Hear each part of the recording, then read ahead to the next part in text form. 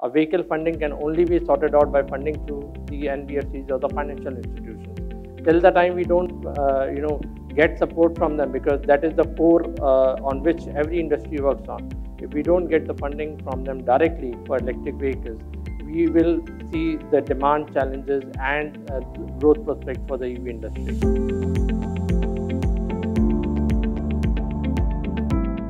So what we are seeing in today's scenarios NBFCs and PSUs are not very eager to fund electric vehicles. That is the major problem.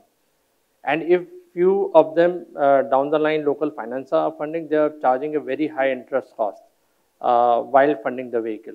So these two are the major challenges which need to be addressed uh, and we definitely need support from the government on that front to make electric vehicle financing as a maybe a prime lending sector or something so that banks and NBFCs can come forward we have seen areas in three-wheeler, specifically where NBFCs and local financiers are charging as high as 40% IRR. And even then, they have a lot of, uh, you know, uh, constraints and challenges while funding the vehicles.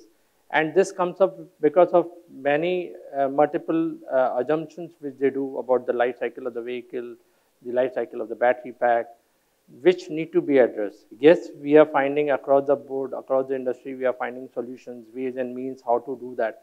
But they are all temporary. It will not give us long, long-term solution. A vehicle funding can only be sorted out by funding through the NBFCs or the financial institutions.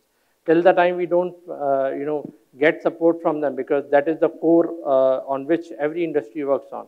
If we don't get the funding from them directly for electric vehicles, we will see the demand challenges and uh, growth prospects for the EV industry.